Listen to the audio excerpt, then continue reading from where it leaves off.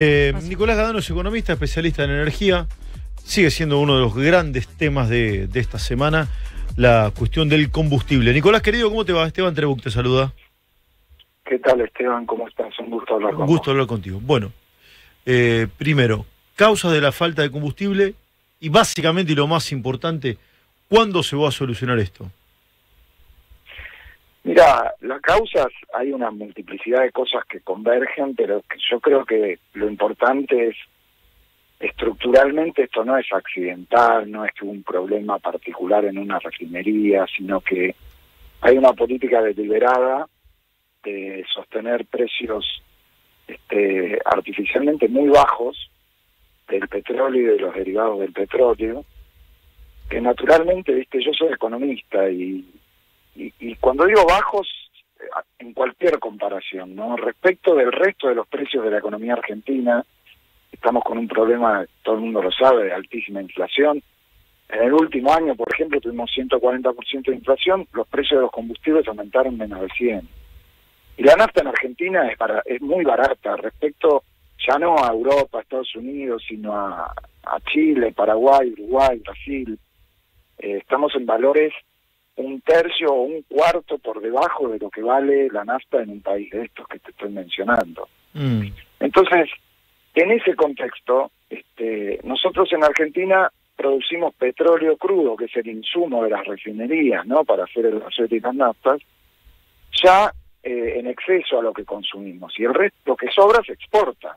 correcto. Ahora, el, pre- el precio de exportación, el precio al cual afortunadamente el petróleo argentino se puede exportar, hoy está un poquito por arriba de los 80 dólares el barril, pero el precio al cual ese petróleo se paga porque el gobierno sostiene los precios muy por debajo a la fuerza, el que se paga en el mercado interno está abajo de 60 dólares. Entonces es una brecha muy grande eh, que significa que siempre conviene más exportar que este, vender ese crudo barato en el mercado interno procesado.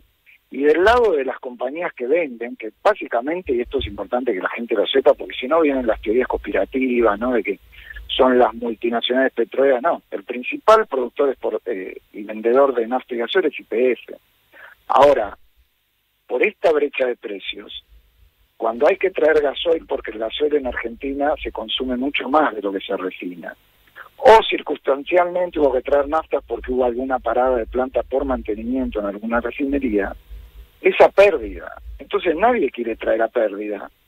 Y el último que termina ahí, este, teniendo que traer a pérdida es IPF, pero IPF sostiene precios más bajos, entonces le va todo el market share, se le va todo el consumo a las estaciones de IPF, en algún momento IPF no da abasto, eh, no hay nafta, no hay gasoil, y se genera este este episodio de crisis que además se agravó por tema de falta de dólares, ¿no? Todos estos problemas que tiene la economía argentina. Yo creo, para, para responder tu segunda pregunta, este, el episodio puntual se va a resolver, o sea, Argentina tiene condiciones para Sí, resolver pero esto. ¿cuándo, Nicolás? Yo sé que vos, vos- vos no conducís ni tenés Yo creo- responsabilidad de gobierno, pero diga un pronóstico, No, una yo creo que en conjetura. los próximos días va a tender a resolverse porque también hubo, la gente se asustó, la gente llenó los tanques, eh, pero no hay un problema estructural de que el consumo del día a día normal exceda estructuralmente a lo que Argentina puede ofertar en la red de estaciones. Entonces, me parece que la gente tiene que empezar a tranquilizarse porque en los próximos días esto debería eh, tender, especialmente en naftas, quizás en gasoil, que como te digo, es donde hay que importar más combustible, bueno, eh, esto va a ser recurrente, ¿no? Este problema de si vos querés obligar a las compañías a, a perder plata y van a tratar de zafar, ¿viste? Ahora, a mí más allá de la solución del problema de corto plazo, lo que me preocupa, y escuchando al ministro más además, que él dice, estos son dos modelos. El modelo de la nafta a 300 pesos, parece, suena atractivo para la gente, porque la gente dice, bueno, voy a pagar más barato es el modelo del subdesarrollo, del desabastecimiento, de una IPF que no va a tener los recursos para invertir en todos esos proyectos que tiene, de una vaca muerta que no que, va a crecer lentamente como viene pasando hasta ahora. Entonces, yo creo que ahí es interesante, si tenés un minuto, compararnos con, de nuevo, con Brasil. Brasil es un país, mira, yo empecé a trabajar, yo trabajé en IPS en varias oportunidades, la primera vez a fines de la década del 90. que es el momento en el que Argentina produjo más petróleo en su historia. No sé por qué a Massa le dicen que mienta una y otra vez que estamos en un récord de producción de petróleo. No es verdad. Hoy estamos en alrededor de 650 mil barriles día. En los 90 producíamos más de 800 mil. Y en ese momento, Brasil producía más o menos lo mismo que nosotros. Y Petrobras, que es una compañía parecida y en el sentido de que es tiene mayoría estatal pero cotiza en bolsa, etcétera, Petrobras valía más o menos lo que lo que valía IPF en ese momento. Mm, ¿Y hoy? Y hoy Brasil produce casi 3 millones de barriles, o sea, produce 5 veces más que nosotros. Y Petrobras vale, no sé, 10 veces más que. Sí, con una Ahora, cuestión. en Brasil la nafta vale un dólar 20, Claro. no vale 0,30 Y- y- como acá. Y gobierna Lula, Sí, no gobierna la derecha, el claro, claro, neoliberalismo. claro. Para, y una Entonces, cosa, Nicolás. a su. Sí, claro. Y una cosa, corregime, por ahí vos sos especialista y yo no. Eh, Argentina tiene petróleo continental y Brasil no. Brasil mandó eh, eh, a grandes cerebros a estudiar geofísica, ingeniería en petróleo y demás con muchos argentinos. Y hoy desarrolló las plataformas offshore eh, de extracción de petróleo, ¿sí? quizás de las más importantes del mundo. Es decir, tuvieron que hacer el doble de esfuerzo de lo que hicimos nosotros. Y hoy además están mejor. ¿Es correcto lo que estoy diciendo? Si no, corregime, por Es Dios. correcto, efectivamente es correcto. La mayoría del petróleo brasileño es offshore profundo, o sea, es mucho más difícil y más caro. Pero vos fíjate, Argentina está a punto con un enorme esfuerzo, una discusión ambiental que la gente conoce, un proyecto que yo creo que es muy positivo. Se va a perforar ahora, a fin de año, un pozo offshore profundo, como esto de Brasil, eh, a 300, 200, 300 kilómetros de la costa bonaerense.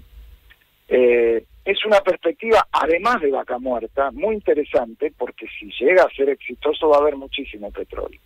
Ahora, las empresas privadas que van a invertir ahí, además de IPF, Equinor, que es Noruega, Shell, si ven que el ministro de Economía, de un día para el otro, te amenaza con cortar la exportación porque hay un problemita, un problema puntual, no lo quiero minimizar, pero es puntual, de un fin de semana, de una semana. Si vos, porque tenés un problema de abastecimiento en las estaciones, amenazás a los productores con cortar la exportación, obviamente le metés un riesgo a cualquier proyecto de inversión de Claro. Entonces, no te pueden manejar así. No te, ese es el modelo del subdesarrollo. eh, y el resto de los países vecinos nuestros no se manejan así. Y a lo que apuntan es, que, es a que la nafta valga lo que tiene que valer. Pero vos tengas más empleo privado, más salario, de manera que los salarios sean más altos y puedan pagar esa nafta. Que por otro lado, y te agrego otra dimensión en esta discusión interesante, que es que todos los países del mundo, en general, no subsidian la nafta, porque el mundo está cambiando. Hay un proceso que se llama la transición energética, que es la lucha contra el calentamiento global, y está cambiando hacia otro tipo de combustibles, lentamente, ¿no? Entonces, en general, los, los combustibles derivados del petróleo tienen impuestos, no tienen subsidios, como estamos haciendo nosotros acá. Así que es un verdadero sinsentido abaratar la nafta, perjudicar Sí, ¿Y cuánto debería salir hoy la el litro de combustible? ¿Un dólar? Un dólar, como sí, el, el precio estándar habitual en Argentina era un dólar, un dólar de verdad, digamos, ¿no? Eh, ahora, mucha gente dice, "Y, pero el salario ahora, lo que es loco en Argentina es que la nafta es barata, pero la ropa es cara, ¿entendés? O Claro. los- o los- los- Es verdad. acá no Pero sale más un café que un litro de nafta. ¿Cuánto vale, Exacto, ¿cuánto entonces- vale un café en Palermo? Un café con leche en Palermo. ¿Cuánto vale? Ya vale, ya vale 800, Sí, 900 pesos. 900 pesos. Sí, y un litro de nafta vale 400. Sí. Estoy redondeando. No tiene, no tiene Eh, lógica.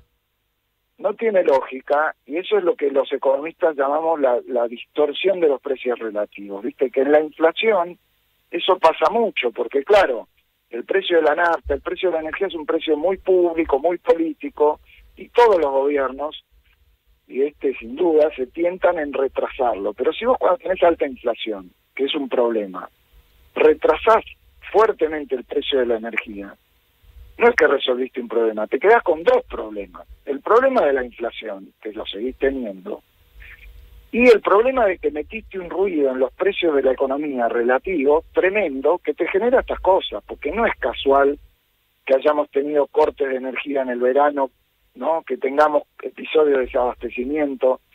Y cuando vos pones los precios de la energía mal, la economía re- reacciona a eso.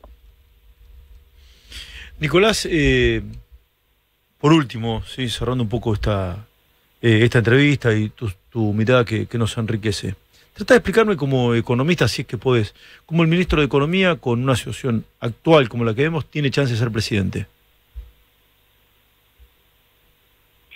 Bueno, es raro, ¿no? Este, no me voy a meter en la... Yo, yo he sido funcionario de Juntos por el Cambio, trabajaba en los equipos de Juntos por el Cambio, ya que en ese sentido, y se lo aclaro a la audiencia también con honestidad, soy un perdedor en ese sentido. Claro. Yo creo que eh, a mí me sorprende, bueno, pero es lo que la gente votó.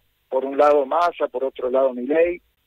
Eh, yo lo único que espero es que cualquiera de las dos este, fórmulas, y si el mismo Massa, que es sorprendente con esta economía, eh, sea competitivo, pero ganó la primera vuelta, que por lo menos con un horizonte más largo, este, eh, cualquiera que llegue va a tener que imaginar un programa de estabilización para la Argentina, ¿no? Mm. Espero que tanto Milei o Massa, si Massa deja de chapucear en lo que ha hecho estos últimos meses y tiene un horizonte de su presidencia de cuatro años, bueno, va a tener que resolver estos temas, no podemos seguir con esto. Entonces, espero que imagine una economía que tiene que salir de este cortoplacismo y que con un programa de estabilización inevitablemente va a tener que resolver las enormes distorsiones en las que nos han metido eh, en materia de precios de la energía.